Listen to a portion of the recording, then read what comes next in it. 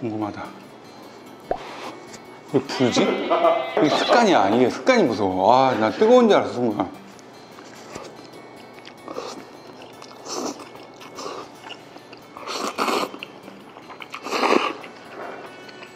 다 맛있는데? 팔도리 이게 있나요? 팔도를 못 이길 줄 알았는데 이기는 맛이 있네요.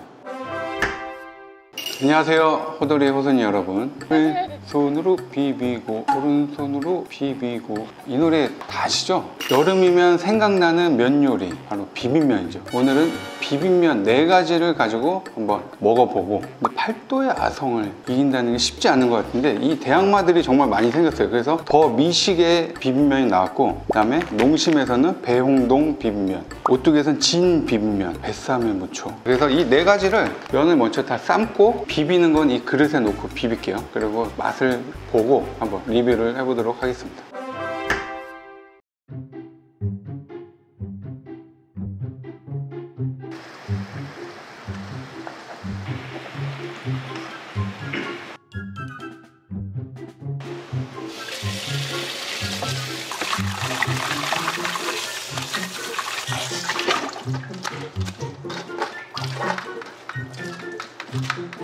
자 이렇게 해서 면을 일단 다 삶았습니다. 그래서 이제 비벼도 보도록 하겠습니다.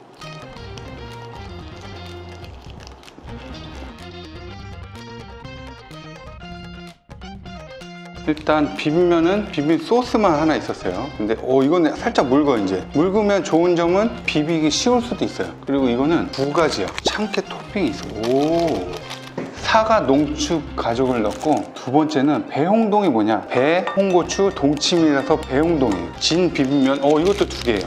이게 20% up이라서 양이 좀 많고 어 이건 그게 아니네 참깨를 갈았구나. 오 근데 소스가 적은 줄 알았는데 금방 빨개지네. 절대 안 적어요. 색깔이 가장 진하게 나타나고 있습니다. 마지막으로 더 미식 비빔면. 10가지 과채의 육수를 블렌딩 했대요. 와 이건 소스 많다 첫 번째 팔도 비빔면. 그냥 비빔면 하면 약간 고유명사처럼 돼갖고 그래서 팔도 비빔면 소스가 맛있어가지고 소스만도 따로 팔잖아요.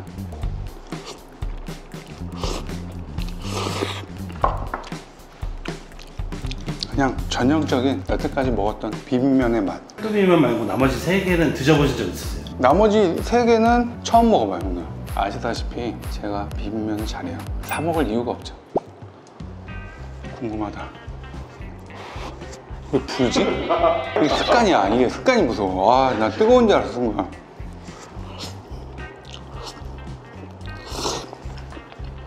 음?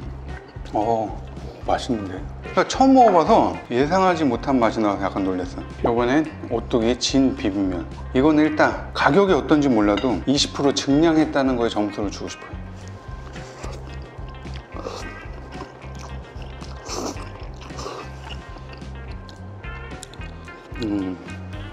그다음에 마, 마지막에 더 미식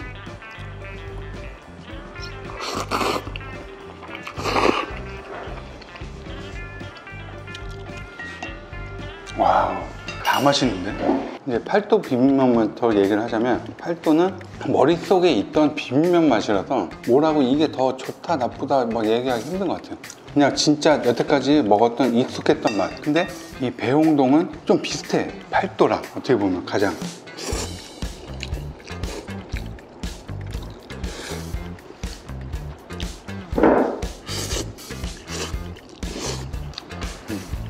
이거랑 이거는 확실하게 다른 게 느껴지는데.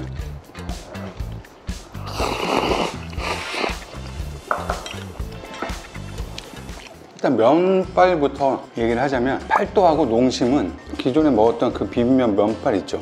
약간 소면에 가깝게 만든 느낌이고 오뚜기하고 더 미식은 약간 더 식감이 있어요. 그래서 쫄면에 가깝게 약간 만든 느낌? 근데 면발 중에 가장 쫄깃한 면발은 이 미식이 가장 쫄깃해요. 면이 겉면인가? 겉면이면 그렇게 될 수가 있죠. 유탕면인데? 유탕면인데 면이 가장 쫄깃해요. 그 다음에 이게 비빔면의 살짝의 업그레이드된 맛이라고 하면 거의 비슷하다고 느껴지는데 조금 차이는 있어요. 여기서 이제 추가하는 거는 이쪽이 사과라면 이쪽 배야. 뭐 고추야 뭐 비슷하게 들어가겠지만 또 동치미를 강조를 하는데 동치미까지는 사실 모르겠어요. 근데 오뚜기 비빔면은 확실히 산미가 좀 더 있어요. 두 개보다는 마지막 끝맛이 그 냉면 위에 무절임 있죠. 약간 그 맛이 느껴져요. 그걸 또 좋아하는 사람들은 괜찮을 것 같고 약간 새콤한 맛을 또 좋아하면 오뚜기가 좋은 것 같고 양념 도 이것도 과일하고 채소를 섞어서 했는데 기존에 이제 이 팔도 비빔면 농심 배홍동하고 또 다른 맛의 비빔면인 것 같아요. 개인적으로 이제 뭐 정해진 것 같아요. 팔도도 이게 있나요? 이 있는 것 같아요. 팔도를 못 이길 줄 알았는데 이기는 맛이 있네요. 아 마지막으로 한번 진짜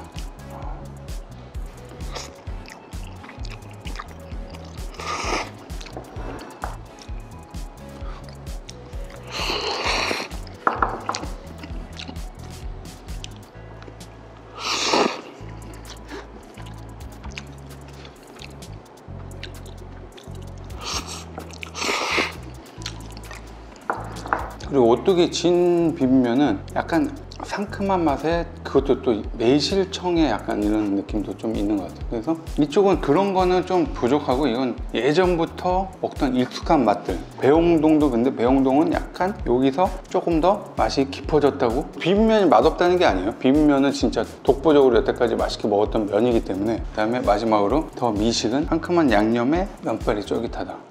이제 선택을 하도록 하겠습니다. 자, 그러면 이제 가격 첫 번째 생각 안 하고 비빔면을 먹겠다. 네 가지 중에 선택을 하자면 바로 더 미식 비빔면. 일단 면이 너무 좋아요. 양념도 되게 깔끔한 데다가 면발을 어떻게 이렇게 쫄깃하게 잘 살렸는지 가장 제 입맛에는 잘 맞았던 것 같아요. 그 다음에 가격을 생각하고 먹는다, 이제. 바로 역시 팔도.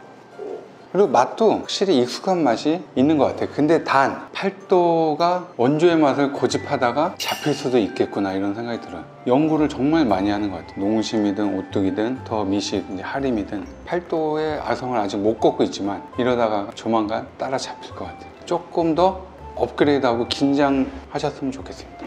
제가 가장 사랑하는 팔도 비빔면입니다.